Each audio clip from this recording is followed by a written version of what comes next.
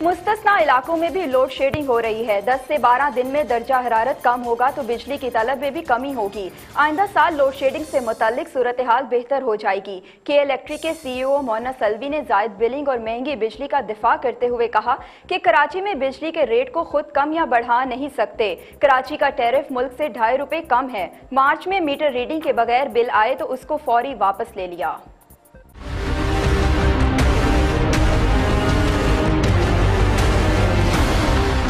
सबसे बड़ा मसला है लोड शेडिंग और उसके अंदर मैं फिर ये कहूँगा कि यकीनन इस वक्त लोड शेडिंग हो रही है और थोड़ी सी ज़्यादा भी हो रही है और उन इलाकों में भी हो रही है जहाँ पे लोड शेडिंग नहीं होती थी। जिसकी जो वजूहत हैं वो ये है कि एक तो हमारा जो लोड है वो इस वक्त जैसे अभी हम बात करें तो तकरीबन 3560 मेगावाट चल रहा है और हम बेस्ट केस सिनेरियो में तकरीबन कोई बत्तीस सौ मेगावाट बना के उसको ट्रांसमिट कर सकते हैं। हमारी एक्सपेक्टेशन ये है कि 10 से 12 दिन में, हो सकता है उससे भी पहले टेम्परेचर नॉर्मल हो जाए और उसके बाद most part of the year ये टेम्परेचर ऐसा रहता है कि हम ये डिमांड को मीट करते हैं।